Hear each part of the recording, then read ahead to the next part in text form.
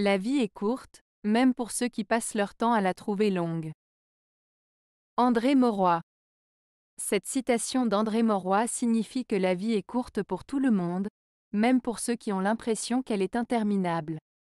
Peu importe combien de temps une personne passe à chercher à prolonger sa vie ou à la remplir de distractions, le temps continue de s'écouler rapidement.